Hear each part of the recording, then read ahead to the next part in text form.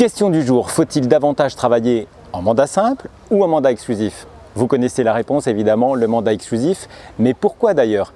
Eh bien pour plusieurs raisons. La première, c'est d'apporter à vos vendeurs un maximum de confort, de visibilité sur leurs biens grâce aux outils, grâce aux moyens que vous allez utiliser tout au long de la commercialisation. Parlons-en justement de cette durée de commercialisation. Sachez qu'en mandat exclusif, elle est évidemment plus réduite qu'en mandat simple et surtout, vous allez également avoir moins de négociations car le but ultime de l'exclusivité, c'est bien évidemment de créer de la rareté autour du bien que vous aurez à vendre. Et plus un bien est rare, plus il devient intéressant pour les acquéreurs potentiels. Sachez aussi qu'en France, la majorité des transactions sont réalisées dans le cadre du mandat exclusif.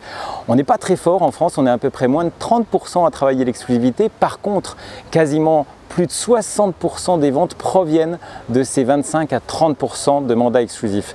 Alors n'hésitez plus, soyez rassurés, proposez à vos vendeurs de travailler sous cette forme et vous verrez que les a priori seront levés. Les objections sont souvent les mêmes. Il suffit donc de vous adapter aux besoins de vos clients. Faites de bonnes découvertes clients et surtout rassurez-les sur le process que vous mettez en place pour mener à bien leurs transactions immobilières.